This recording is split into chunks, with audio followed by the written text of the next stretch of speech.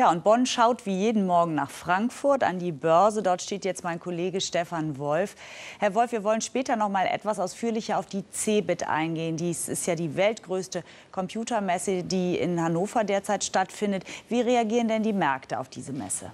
Natürlich beobachten die Finanzmärkte diese wichtige Messe ganz genau, obwohl natürlich die Zahl äh, der Aktien und der Unternehmen, die hier an der Börse geführt werden, rund um das Computerdasein äh, sehr stark äh, nachgelassen hat. Aber natürlich ist die Telekom involviert. Natürlich geht es um wichtige Softwarekonzerne wie zum Beispiel SAP oder die Software AG. Aber beim Thema Big Data, und das ist ja das, was die Börse vor allen Dingen beschäftigt und die CeBIT vor allen Dingen beschäftigt, natürlich, da geht es natürlich um die Daten. Viele kleine Start-up-Unternehmen, die noch nicht an der Börse notiert sind, spielen da eine Rolle, aber eben auch die ganz großen Player und die sitzen in den USA, wie zum Beispiel Google.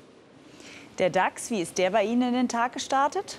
Nun, nach den doch empfindlichen Verlusten der vergangenen Tage geht es nun zumindest leicht bergan.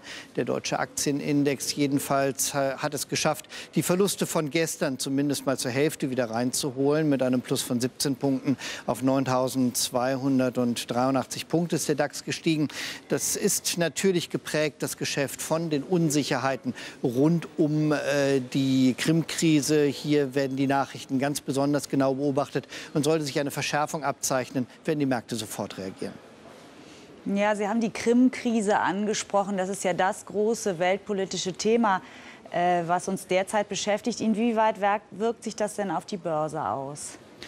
Nun, letztendlich ist es so, dass die Händler hier sehr vorsichtig darauf schauen, was äh, geschieht auf der Krim.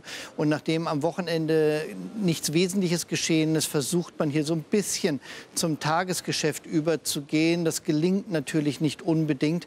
Äh, als der neuralgische Punkt schlechthin gelten natürlich die Energiepreise. Der Blick geht auf den Ölpreis, geht auf die Gaspreise. Wenn die sich empfindlich verteuern, und das ist nur natürlich im Zuge einer solchen Krise, äh, ist es so, dass dann natürlich die Märkte reagieren, äh, dass die Kurse dann sinken. Denn höhere Energiepreise, das ist die ganz große Gefahr für den gerade erblühenden Aufschwung. Sollte der Ölpreis sehr stark und sehr schnell steigen, dann könnte der natürlich den Aufschwung ganz schnell zunichte machen. Ja, Stichwort Aufschwung. Der deutsche Außenhandel, der hat ja wieder ein Wachstum verzeichnet. Wie kommt das denn an der Börse an? Das kommt positiv an an der Börse. Äh, letztendlich ist es so, dass die Ausfuhren wieder Tritt gefasst haben. Im Januar sind die Exporte ziemlich stark gestiegen im Vergleich zum Vorjahresmonat um 2,9 Prozent. Die äh, Importe sind um anderthalb Prozent gestiegen. Es bleibt also bei dieser Schere zwischen Im- und Exporten, die ja immer so gerne kritisiert wird im Ausland. Aber letztendlich ist natürlich die Exportstärke eine der wichtigsten Säulen der deutschen Wirtschaft. Und hier an der Börse sieht man es sehr gern, wenn wenn die Exportmaschine brummt. Ja, herzlichen Dank nach Frankfurt, Stefan Wolf. Gerne.